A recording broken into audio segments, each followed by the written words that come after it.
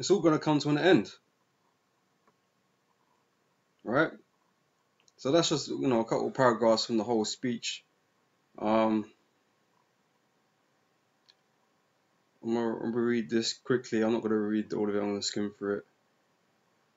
Right. It says um, this is from Cliff Notes. I'll, I'll throw this in the description box as well. Right. It says critical essays: the meaning of July 4th for the Negro. Right. Says Frederick Douglass was a fiery orator, and his speeches were often published in various abolitionist newspapers. Among his well-known speeches is the meaning of July 4th for the Negro, presented in Rochester, New York. Okay, like. All right. Uh,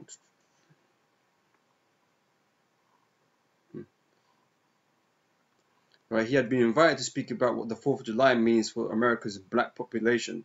And while the first part of his speech praises, praises what the founding fathers did for this country, his speech soon develops into a condemnation of the attitude of American society towards slavery, okay, towards so-called black people, okay, because you know what what the the so-called white people did was great for their country.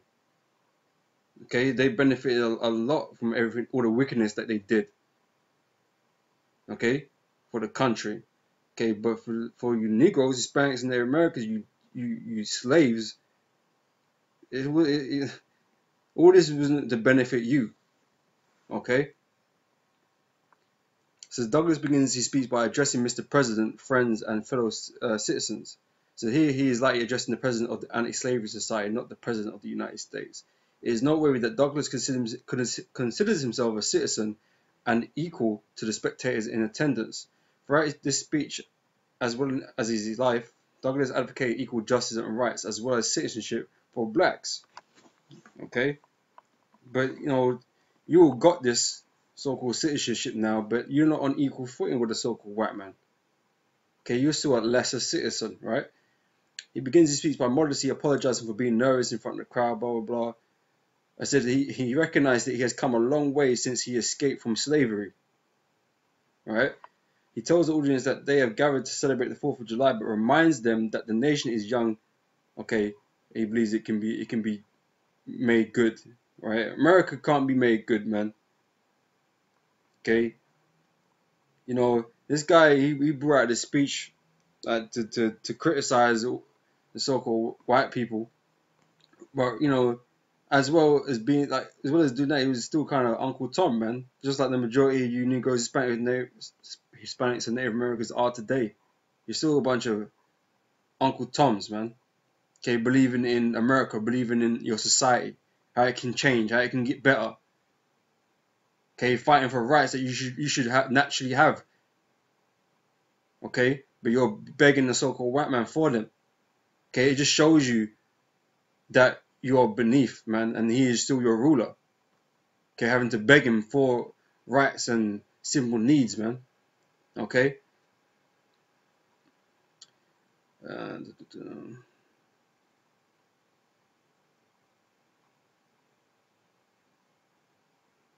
okay, drop down.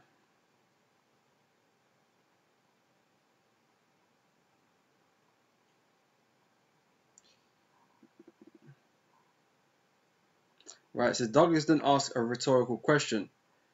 Are the great principles of political freedom and of natural justice embodied in that Declaration of Independence extended to us blacks? Is it extended? The answer is no, it was not. Okay, so-called black people have not received justice yet.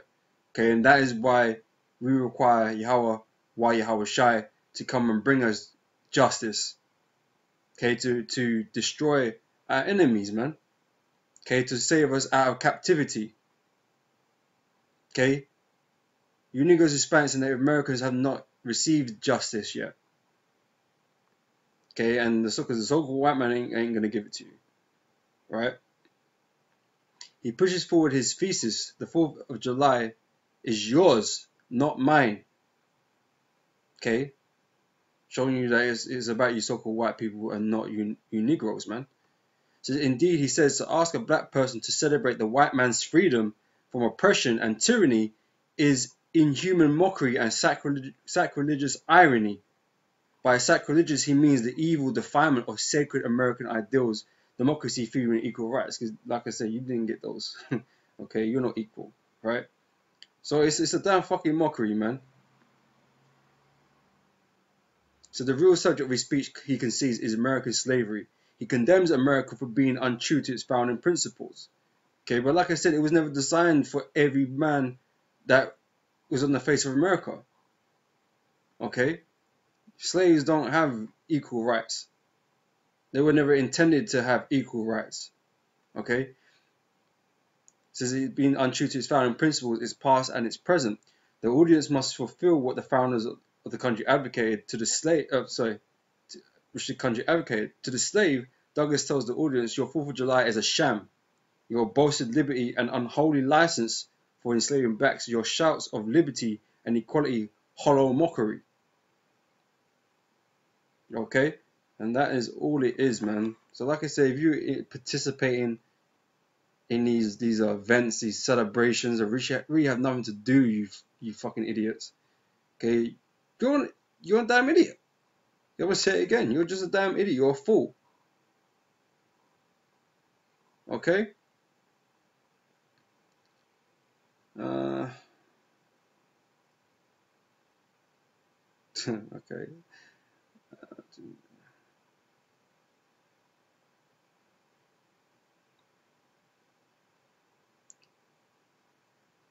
Okay, I feel like I've read enough really. I really just want to use get get some scriptures now, to be honest. Okay, because you know, message ain't changing, man. If you participate in this, you're a damn idiot. Okay, believing that Fourth of July has something to do with your independence, man. As a as a a Negro, man, you're a damn fool. Okay, but um, the scripture's going to tell you the same thing. Okay. And I'm going to start here, Micah chapter 2, verse 10. Right? It says, Arise ye and depart, for this is not your rest. Okay? America is not your rest. This is not your kingdom, man. Okay? No, neither is Britain, neither is it is it France, Germany, any of these places, anywhere that you are in the world right now is not your rest. Okay, this is not your kingdom. This is the kingdom and dominion of the wicked. Okay, the wicked are in, um, are in rulership, man. Judges 9 and 24. The earth is given into the hand of the wicked, man. This is not your kingdom. Okay, you have no part in this, man. You are here as a slave. You're here for punishment. Okay, you're here in slavery because of because of your transgressions, man. Okay, this is not your rest. Okay, so stop trying to act like it like it is or could be. This ain't the place for you, man. This place is going to be destroyed. Okay? It says, because it is polluted, it shall destroy you, even with a sore destruction. Okay, so believing in this place, okay, wishing it could, you know, it, it could benefit you and, and be better for you. Okay, this place is, is vile and, and polluted, man, and you're being polluted with it. Believing in that, in them so-called American ideals. This this whole place is built on blood and evil. They they are the American ideals, man. To steal and to kill. Okay, that is the nature of the thief, man. Okay, because this is the thief. Okay, they're the ideals, man. If you want something, you you better steal and kill to grab it. Okay, that is the American ideals, man. That's what they base this base all this on. That's how they gained the land, and that's how they built upon it. Okay, but that is also the blessing of Esau, the so-called white man. He was blessed with that sword, that he was going to take shit from people. Okay, this is why we know this is him. Okay, so if you believe in that man, yeah, you're you're defiled with this place. Okay, and you're gonna be destroyed with this place. Okay, um, go into Isaiah, Isaiah chapter 30. Um, I'm going to read from verse 1. I believe I'm going uh, down to 3, right? It says, Woe to the rebellious children, saith the Lord, that take counsel, but not of me. Okay? A lot of you people, you Negroes, Hispanics, Native Americans, man, who are the true the true children of the of the children of Israel. Okay, you don't con- you don't consult the words of the scriptures, man. You don't consult the Lord and the things that He said. Okay, you you but you're quick to go uh, um, counsel with the wicked, your so-called neighbors. Okay, these heathen nations. Okay, you you you cleaved yourself unto them. You know, you're happy to go receive their counsel or counsel from somebody else, pretty much. Okay, but you don't you don't seek the counsel of the Lord. Okay, which is the scriptures, right? It says that take counsel but not of me, and that cover with a covering but not of my spirit. You're not in the spirit of the Lord, man. Okay, you're you're in the spirit of of of Esau, of Satan.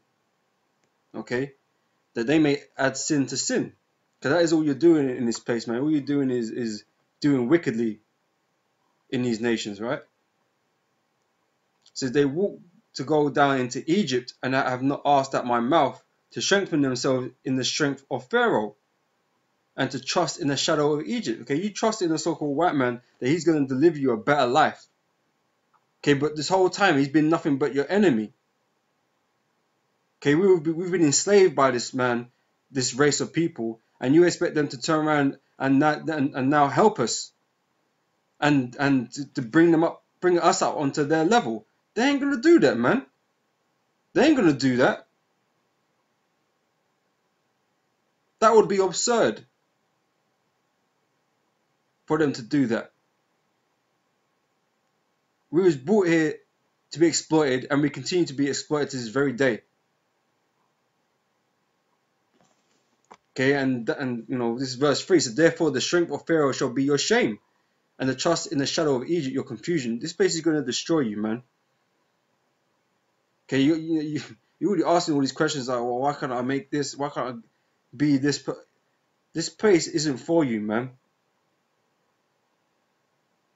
Okay, this place isn't, isn't made for you to make it, to prosper. This isn't the place for that, man. You're meant to be in slavery. Okay? You're meant to be under the curses, and that is exactly what you're receiving, man. You're, all you're receiving in this place are the curses. Okay, which I'm going to get that later. Okay? But this, this place is going to be the destruction of you, man. Okay, because you believe in it too much. Like there's like there's some way to live in this kingdom, man, when it's not designed for you. You was never meant to prosper in this world, man. You was here to work and to die and to catch hell. That was it. All right, this is Jeremiah chapter 46 and verse 25. Oops.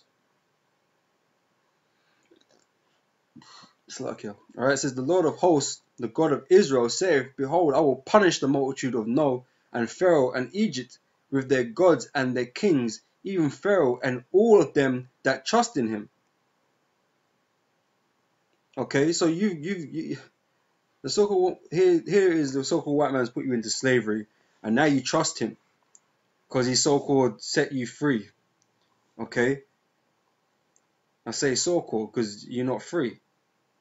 Okay, but now you you, you kind of trust him. You rely upon him to do right by you. Okay, now, again, that's idiotic, man. Okay, and I'm gonna show you why in a minute. Okay, but the Most High gonna gonna destroy you, man. With with with America, with all you know, their their uh, elites, all the people that in it, you're gonna be destroyed with them, man. Cause you wanna be like them. You want what they want. Okay, but you can't have what they want, man. And what you should be wanting is the kingdom of heaven. But you're not looking for that. You're looking for a piece of the so-called white man's kingdom. But it's not for you. Okay, like I said, you don't you're not uh, counseling the Lord. Okay, you should be seeking the kingdom of heaven, man, and you guys are not doing that. Okay, you believe in the so-called white man more than you believe in the Most High. Okay. So whoever puts their trust in Egypt, man, they're gonna be destroyed. Okay. Now this is um this is Sirach chapter 12, verse 10. Right? Because you're not meant to trust your enemies, man. Like I said, they put you into slavery. You're not meant to be trusting them. They're obviously your enemy. Okay? But if you want to play buddy buddy with them now, again, you're a fool.